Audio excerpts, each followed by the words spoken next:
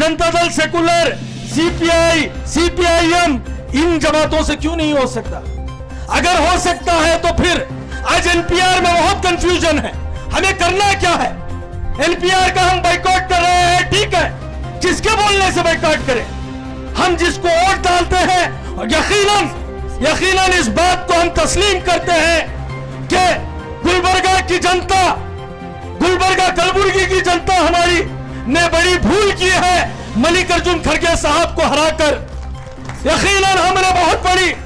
हमें यह जानना चाहिए, अगर मल्लिकार्जुन खड़गे साहब को हम जिताते तो आज पार्लियामेंट में सबसे बड़ी आवाज़ गुलबर्गा की होती थी। हमें यह समझ, जब भी हमने कहा कि हमारे पूर्वजों ने संविधान को बनाने के लिए कलकत्ता से बाबा साहब अंबेडकर को जिताकर भेजा, हमने एमपी इलेक्शन में कहा, उसी संविधान की रक्षा करने के लिए डॉक्टर मल्लिकार्जुन खड़गे साहब को आप जिताइए। मगर हमारी बात आप लोगों तक नहीं पहुँची। मगर मल्लिकार्जुन खड़गे साहब को हम ये कहना चाहते हैं कि हम आपका सड़क से लेकर संसद तक साथ देने के लिए तैयार हैं। आप मैदान में आइए, हम तैयार हैं। आज देखिए कि ममता बनर्जी उसे हज़ार सलाम। केरला की हुकूमत को हज़ार सलाम। हम नॉन पॉलिटिकल लोग हैं, हम बोलने से कुछ नहीं होने वाला है। आप ये बात याद रखिए, सौ नारे लगाएँगे तो कुछ नहीं होने वाला है। ममता बनर्जी के जिस ममता बनर्जी के तरीके से अगर 10 स्टेट 10 स्टेट जो तकरीबन 14 स्टेट हमारे देश के नॉन बीजेपी स्टेट है। उसमें से अगर 10 state NPR, NRC C double को रिजेक्ट करते हैं तो किसी की माँ नहीं चलेगी हमें देश से बाहर निकालने की। हमें इस बात की मुहिम चलाना है। हमारी बात सुनता मोदी हमारी बात सुनता प्रैक्टिकल बात करेंगे। जज्बाती बात नहीं, प्रैक्टिकल बात करेंगे। अमित शाह हमारी बात सुनेगा। हम यहाँ पर रोएँगे, चिल्लाएँगे, पुकारेंगे। नहीं होगा।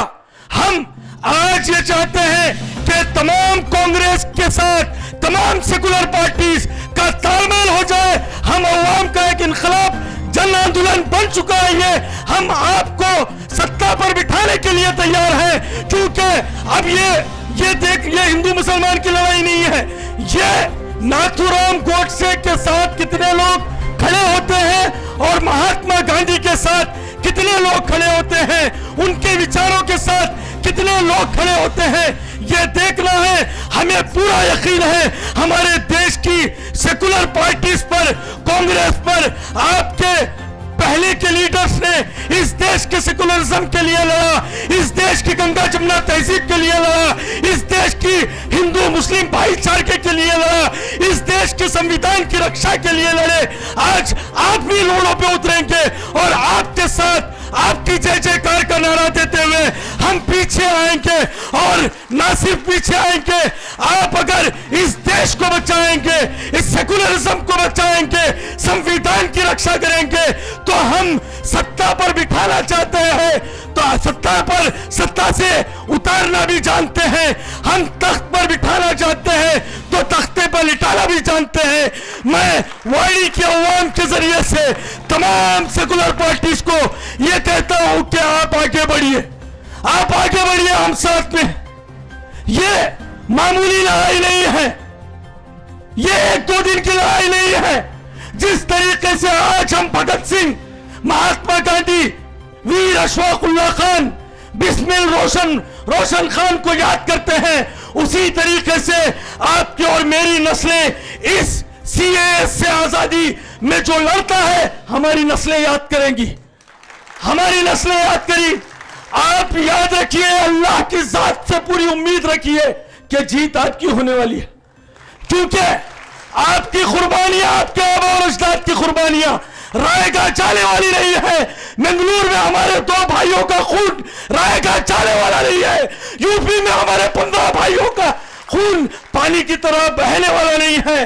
आपकी कामयाबी नज़दीक है। आप उठिए, उठकर अपने लीडर का साथ दीजिए, अपने लीडर को पूरा भरोसा दीजिए कि तुम आगे बढ़ो, हम तुम्हारे साथ हैं। आज मैं थोड़ी सी मुख्तलिफ़ तरीके की तकरीर कर रहा हूँ। मैं ये पूरा पूरा यकीन दिला रहा हूँ लीडर्स को कि आप आगे बढ़िए। क्योंकि पहले तो बदनाम हो चुके हैं पार्लियामेंट में। अमित शाह और मोदी कांग्रेस की तारीफ़ नहीं कर रहे जबकि ये पूरा आंदोलन किसी पॉलिटिकल पार्टी के ठहराया हुआ आंदोलन नहीं है। ये इंसानियत ने, ये देश की जनता ने ठहरा किया है, मगर बीजेपी आपको बदनाम तो कर ही रही है। ये कांग्रेस की साजिश है, ये रीजनल पार्टीज़ की साजिश है। क्यों बदनाम हो रहे? रियल में करिए और क्रेडिट लीजिए। क्रेडिट लीजिए, देश की सत्ता पर बैठिए। आप यही बातें मैं आज वाड़ी की इस प्लेटफॉर्म से कहने के लिए आया हूँ कि ममता बनर्जी को देखिए आप। ममता बनर्जी हमारे लिए मशाले रहा है। आज देश में मॉडल बनी हुई है ममता बनर्जी। जिसे हज़ारों सलाम किया जाए तो कम है। वो कोई मालूम, मामूली बातें नहीं है। जो स्टैंड ममता बनर्जी ले रही है, वो स्टैंड हर एक सेकुलर पार्टीज़ को लेने की ज़रूरत है। कांग्रेस को लेने की ज़रूरत है। एनपीआर का आप बाइकआउट का ऐलान कीजिए। हम समझ में आए कि हम जिसको वोट डाल रहे हैं, वो लीडर हमें कह रहा है बाइकआउट करो। किसके भरोसे पर बाइकआउट करें? किसके भरोसे पर बाइकआउट करें? तो आप आगे आइए। ये जज्बाती बातें तो मैं भी यहाँ से कहकर, बहुत सारी बातें कहकर रवाना हो जा सकता हूँ यकीनन हम, यहाँ से इतनी आसानी से जाने वाले नहीं है। मैंने कल भी शाहबाद में कहा था कि अगर एनपीआर का इंफॉर्मेशन पूछने के लिए कोई ऑफिसर हमारे घरों को आएगा तो हमारी माँ बहने अच्छी तरीके से जानती है कि चंबार के देव की चप्पल की पूजा कैसा करना, वो तो बात है अपनी जगह। मगर किसके भरोसे पर? आप आइए और आकर ऐलान कीजिए कि ये अनकॉन्स्टिट्यूशनल है। हमें चिंता नहीं है, हमें डर नहीं है। मोदी ये कह रहे हैं कि चिंता करने की ज़रूरत नहीं है। हमें चिंता है तो बाबा साहब भीमराव के बनाए गए अंबेडकर की संविधान की चिंता है। और ये बात याद रख लिए, अगर बाबा साहब अंबेडकर के संविधान को अगर कोई छेड़ेगा तो हम उसे छोड़ेंगे नहीं। हम 21 मरे हैं 21 लाख मरे तक तैयार है, मगर संविधान की रक्षा करते करते इस देश से जाएँगे, मगर संविधान को बदलने नहीं देंगे। आज मैं तमाम वाड़ी के हिंदू, मुस्लिम, सिख, ईसाई तमाम लोगों को मैं मुबारकबाद देता हूँ और पुलिस वालों को भी जिंदाबाद कहता हूँ। मजहर एडवोकेट साहब आधा घंटा बात किए। कोई अनकॉन्स्टिट्यूशनल बात किए? कोई गैर ज़रूरी बात किए? कोई हिंदू, मुसलमान में तफरीर डालने वाली बात की है तो हमें पहचानो, हम शांति प्रिय लोग हैं। हम अमन पसंद लोग हैं। हम लॉ को मानने वाले लोग हैं।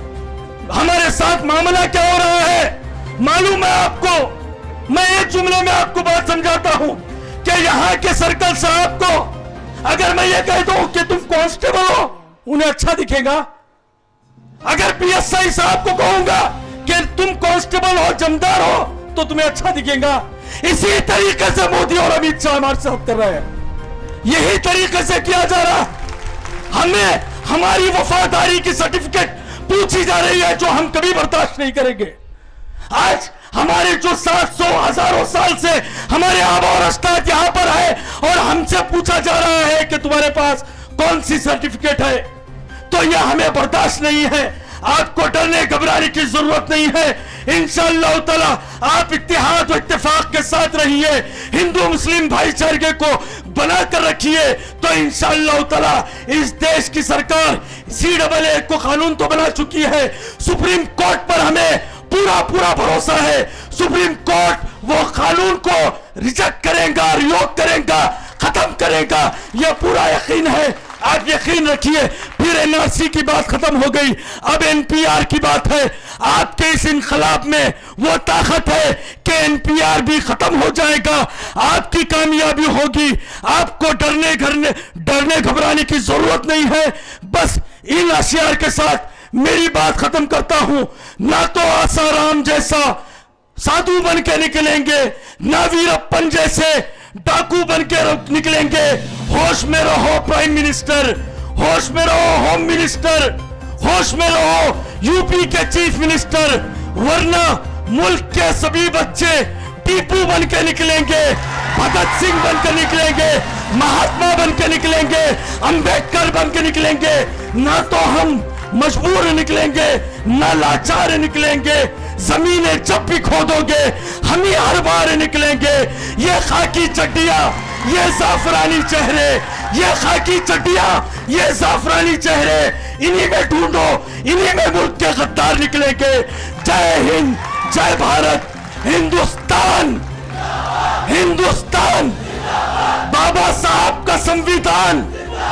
बाबा साहब का जन संविधान। बाबा साहब का संविधान।